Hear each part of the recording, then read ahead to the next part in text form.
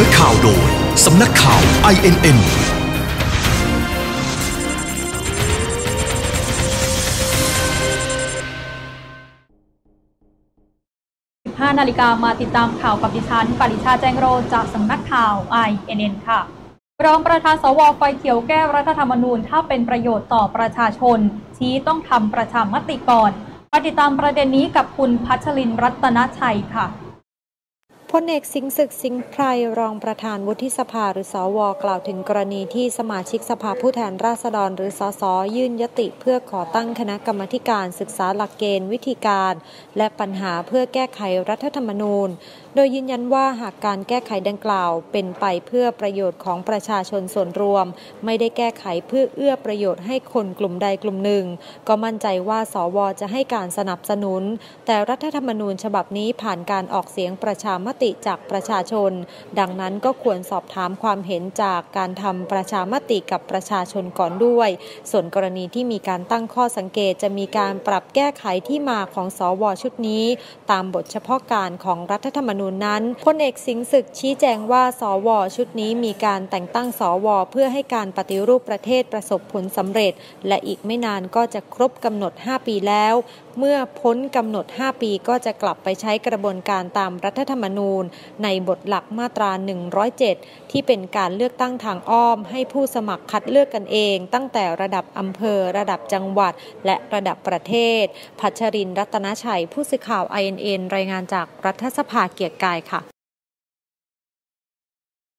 ด้านขององค์อาจนะคะเชื่อว่านายกรัฐมนตรีจะสามารถชี้แจงได้วันอภิปรายทั่วไปวันที่ 18 กันยายนนี้ ในขณะที่ยืนยันด้วยนะคะว่าครั้งนี้จะไม่กระทบต่อการทำงานของรัฐบาลค่ะในองค์อาจคล้ำไพบูลรองหัวหน้าและประธานสสพักประชาธิปัตย์กล่าวถึงการอภิปรายทั่วไปโดยไม่ลงมติตามรัฐธรรมนูญมาตรา 152 ว่า ในการประชุมสสของพักวันอังคารนี้ไม่มีระเบียบวาระพิจารณา เรื่องการอภิปรายทั่วไปแต่อย่างใด ทางนี้เชื่อว่าการอภิปรายทั่วไปจะมีขึ้นในวันที่ 18 กันยายนนี้ ไม่น่าจะมีผลกระทบต่อการทำงานของรัฐบาล ทางฝ่ายค้านระบุชัดเจนแล้วว่า การอภิปรายครั้งนี้จะพุ่งเป้าไปที่นายกรัฐมนตรี และรองนายกรัฐมนตรี นายวิษณุเครืองาม ที่เป็นมือกฎหมายของรัฐบาล มั่นใจว่าทั้งสองคนสามารถชี้แจงตอบคำถามอภิปรายของฝ่ายค้านได้ เพราะไม่ได้เป็นเรื่องที่มีเนื้อหาสาระสลับซับซ้อนอะไร จึงไม่น่ามีอะไรน่าวิตกกังวล ส่วนการที่ฝ่ายค้านขอเลื่อนวันอภิปรายมาเป็นวันที่ 16 กันยายนนั้น ก็ขึ้นอยู่กับการเจรจากันระหว่างฝ่ายค้านกับรัฐบาล ที่จะหาวันที่เหมาะสมมีความพร้อมตรงกันทั้งสองฝ่าย เพราะฝ่ายค้านคงอภิปรายฝ่ายเดียวไม่ได้ ต้องมีฝ่ายรัฐบาลมาชี้แจง ตอบข้อสักถามคำอภิปรายของฝ่ายค้านด้วย หากรัฐบาลยังยืนยันวันอภิปรายทั่วไป โดยไม่มีการลงมติ เป็นวันที่ 18 กันยายน ทางฝ่ายค้านก็ต้องปรับการทำงานให้ผู้อภิปรายและเนื้อหาสาระพอดีกับเวลาที่ตกลงกันค่ะด้านของรองนายกรัฐมนตรีจุรินนะคะเผยผลประชุมรัฐมนตรีอาเซียนกับจีน ร่วมมือยกระดับ 3 ด้าน เพื่อเป็นการเพิ่มมูลค่าการค้าเดินหน้าเปิดเสรีลงทุนค่ะไปติดตามประเด็นนี้กับคุณขวัญใจนวลจันทร์ค่ะ นายจุลินลักษณะวิสิทธิ์รองนายกรัฐมนตรีและรัฐมนตรีว่าการกระทรวงพาณิชย์ เปิดเผยผลการประชุมรัฐมนตรีอาเซียนกับประเทศจีนว่า จีนเป็นคู่ค้าอันดับหนึ่งของอาเซียน โดยมีมูลค่าการค้ารวมกว่า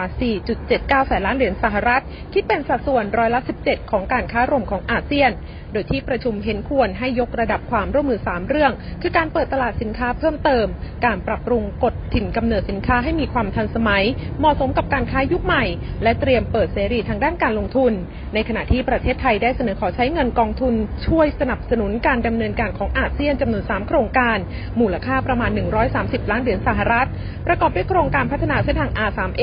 ซึ่งจะสามารถเชื่อมโยงจากคุณหมิงเชียงราย เป็นการเพิ่มโอกาสทางการค้าข้ามพรมแดนระหว่างกันมากขึ้น โครงการพัฒนานักธุรกิจรุ่นใหม่และโครงการสร้างแพลตฟอร์มออนไลน์ ระหว่าง CLMVT ซึ่งทางประเทศจีนได้รับปากนำไปพิจารณา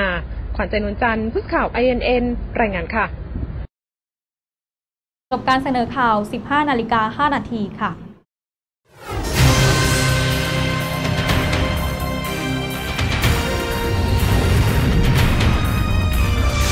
เสนอข่าวโดย สำนักข่าว INN